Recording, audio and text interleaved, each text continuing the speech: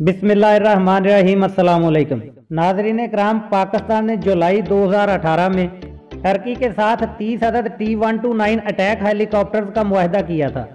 اس معاہدے کے تحت جس کی مالیت ایک اشاریہ پانچ ارب امریکن ڈالر تھی ٹرکی نہ صرف پاکستان کو تیس عدد اٹیک ہیلی کاپٹر فراہم کرے گا، بلکہ اس وسیع پیکج میں training spare parts ground support equipment گوڑا برود یعنی ہتھیار وغیرہ شامل تھے۔ ان میں سے کتنے ہیلی کاپٹر بلاک ون اور بلاک ٹو پر مبنی ہوں گے؟ اور وہ کون سے ٹیسٹ تھے جو ان ہیلی کاپٹروں پر انجام دیے گئے؟ اور چائنا کے زی ٹین ہیلی کاپٹروں کی بجائے ٹی ون ٹو نائن کے انتخاب کا باعث بنے۔ اور یہ پاکستان کو کب فراہم کیے جائیں گے؟ اور ان ہیلی کاپٹروں پر کون کون سے ہتھیار نصب کیے جائیں گے؟ یہ سب کچھ بتائیں گے آپ کو اس ویڈیو میں۔ تو چلیں شروع کرتے ہیں۔ ناظرین، پاکستان نے بیس سے لے کر اکتیس مئی دو ہزار سولہ کے دوران T one two nine helicopter پر مختلف قسم کے ٹیسٹ سار انجام دیے۔ ترکش عہدے داروں کی طرف سے T one two nine prototype helicopter جس کا نمبر پی سکس تھا، وہ بھیجا گیا اور اس پر بنیادی طور پر تین بڑے ٹیسٹ سر انجام دیے گئے۔ ان میں پہلا test high temperature endurance test تھا یعنی شدید درجہ حرارت کی برداشت کا ٹیسٹ۔ اور دوسرا ہائی آلٹیٹیوڈ یعنی زیادہ اونچائی کا ٹیسٹ۔ اور تیسرا لانگ ڈیوریشن فلائٹ یعنی طویل دورانیے کی پرواز کا ٹیسٹ تھا۔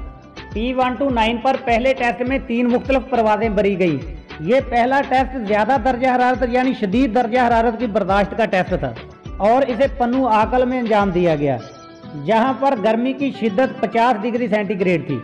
اس کے علاوہ دوسرا ٹیسٹ جو زیادہ سے زیادہ اونچائی کا ٹیسٹ تھا، یہ چودہ ہزار فٹ کی بلندی پر پاکستان کے پہاڑی علاقوں میں سار انجام دیا گیا، جبکہ تیسرا اور آخری ٹیسٹ کوئٹہ سے لے کر ملتان کی لمبی پرواز تھی۔ جس میں اس ہیلی کاپٹر نے دو گھنٹے چالیس منٹ پر مشتمل بغیر ریفیولنگ کے پرواز بری ان تینوں ٹیسٹوں کے بعد پاکستانی عہدیداروں نے اس ہیلی کاپٹر کی خریداری کا مشورہ دیا، کیونکہ یہ ہیلی کاپٹر پاکستان آرمی کی ضرورتوں کو پورا کرتا تھا، جبکہ اس کے مد مقابل ان میں سے کچھ ٹیسٹوں میں ناکام ہو گیا۔ یاد رہے، اس کے بعد تیئیس مارچ دو ہزار اٹھارہ کو ترکش بری فوج کی طرف سے تین T one two nine attack ہیلی کاپٹروں نے یوم پاکستان کی پریڈ میں بھی حصہ لیا تھا۔ اس ہیلی کاپٹر کی اگر ہم جسامت کی بات کریں، تو اس کی لمبائی سنتالیس اشاریہ سات فٹ، اونچائی گیارہ اشاریہ دو فٹ، جبکہ چوڑائی گیارہ اشاریہ چار فٹ بتائی جاتی ہے۔ اسی طرح سے اس ہیلی کاپٹر کا کل وزن پانچ ہزار پینسٹھ کلو گرام ہے، جبکہ اس کے آئل ٹینک میں نو سو پینتالیس لیٹر کی گنجائش موجود ہے۔ اور اس ہیلی کاپٹر پر اضافی آئل ٹینک بھی نصب کیے جا سکتے ہیں۔ اور اس کے عملے کے لوگوں کی تعداد دو ہے۔ جبکہ اس ہیلی کاپٹر کی طاقت کا راز دو عدد turbo shaft engine C T S eight hundred four A پر مشتمل ہے۔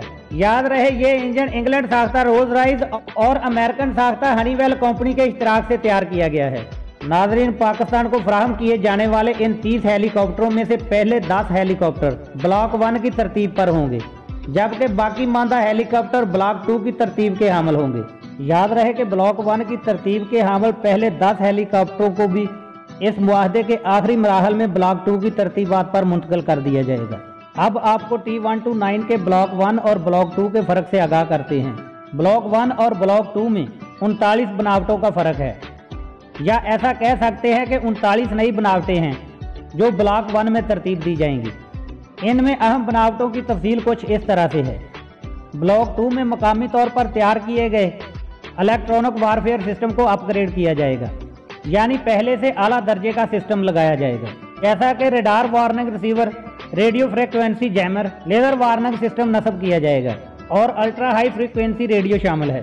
ناظرین، بلاک ون سے بلاک ٹو میں جو سب سے اہم تبدیلی کی جانی ہے ان میں پہلی کیٹس یعنی کامن اپرچر ٹارگٹنگ سسٹم نامی electro optical reconnaissance surveillance and targeting system نصب کیا جائے گا۔ یہ سسٹم ترکی کی کمپنی ایس ایل سان کے تیار شدہ F L I R three hundred T electro optical system کی جگہ لے گا۔ یہ نہ صرف پرانے سسٹم سے وزن میں ہلکا ہے، بلکہ مکمل ہائی ڈیفینیشن عزم کا حامل سسٹم ہے، جو نہ صرف زیادہ اونچائی پر کم درجہ حرارت میں بہترین طریقے سے کام کرتا ہے۔ بلکہ کم روشنی اور زیادہ درجہ حرارت کے ماحول میں بھی متعدد یعنی ایک سے زیادہ اہداف کا پیچھا کرنے کے ساتھ ساتھ ایڈوانس امیج پروسیسنگ کی سہولت مہیا کرتا ہے۔ یہ سسٹم جس کا لیزر رینج فائنڈر اور ہدف کی کھوج کرنے والا سسٹم تیس کلومیٹر کے فاصلے تک اپنے ہدف کو نشانہ بنا سکتا ہے۔ اس ہیلی کاپٹر میں موجود پائلٹس کو بہت کم وقت میں اپنے ہدف کا کھوج لگانے اور اسے نشانہ بنانے کی سہولت فراہم کرتا ہے۔ دوسری سب سے اہم اور بڑی تبدیلی ریڈار کی صورت میں ہے۔ T one two nine block two میں ملی میٹر ویو ریڈار یا ملدار ریڈار کو نصب کیا جا رہا ہے۔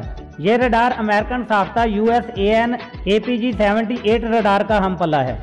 یاد رہے، یہ radar Apache Longbow helicopter میں امریکہ استعمال کرتا ہے۔ اس ریڈار کی فضا سے زمین پر ہدف کو کھوجنے کی رینج بارہ کلومیٹر جبکہ فضا سے فضا میں آٹھ کلومیٹر بتائی جاتی ہے۔ اور آنے والے وقت میں یہ ریڈار نہ صرف ٹرکش ساختہ UMTAS anti tank guided missile سے لیس کیا جائے گا، بلکہ یہ اس ہیلی کاپٹر پر مین راؤٹر کے اوپر نصب کیا جائے گا۔ جیسا کہ Apache Longbow helicopter کے اوپر نصب کیا گیا ہے۔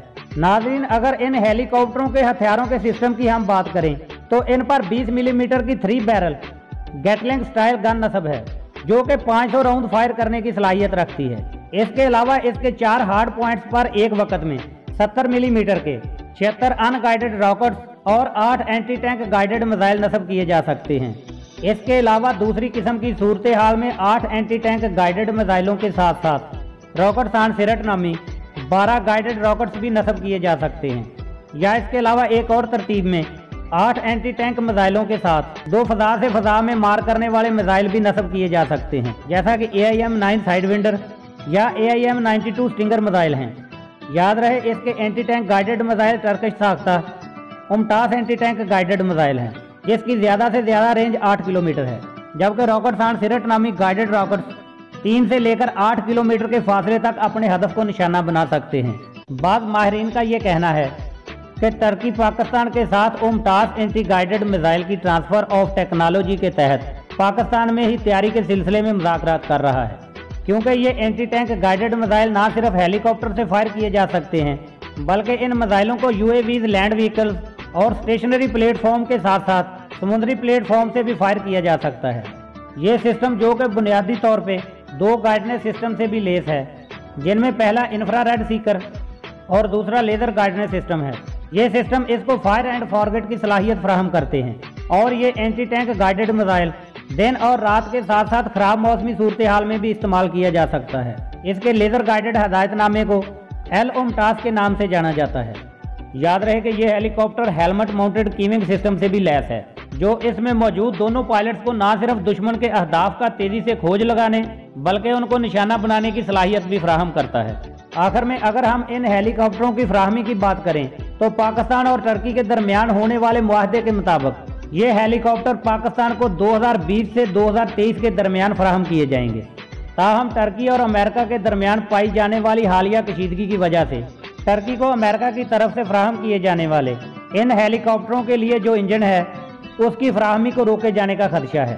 اگر ایسا ہوتا ہے تو ٹرکی کو مقامی طور پر تیار کردہ ٹی چودہ سو نامی انجن نصب کرنے پڑیں گے۔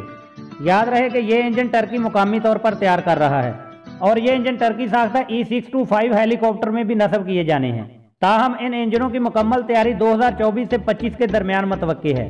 ٹرکش ایس ایس بی کے صدر نے حال ہی میں دسمبر کے پہلے ہفتے میں مقامی اخبار کے ساتھ بات کرتے ہوئے بتایا کہ امریکہ ان قریب ان انجنوں کے حوالے سے ٹرانسفر کا لائسنس فراہم کر دے گا اور یہ ہیلی کاپٹر اپنے مقررہ وقت پر پاکستان کو فراہم کر دیے جائیں گے۔